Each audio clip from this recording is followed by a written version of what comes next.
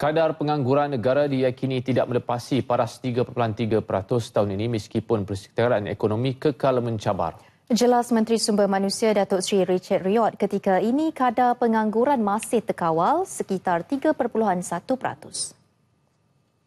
And as far as uh, I, I, what I want to stress here is, uh, as far as unemployment is concerned, based on the OECD benchmark, anything less than 4% of the total workforce unemployed is regarded as is still regarded as full employment.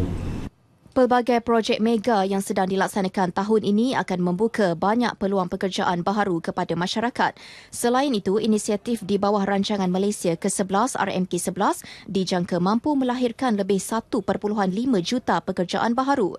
60% daripada jumlah itu merupakan pekerjaan berkemahiran tinggi dan terbuka kepada pekerja bidang pendidikan teknikal dan latihan vokasional TVET. Beliau ditemui pemberita pada sidang media Majlis Pelancaran Sistem Latihan Dual Nasional SLDN Proton di Subang Jaya.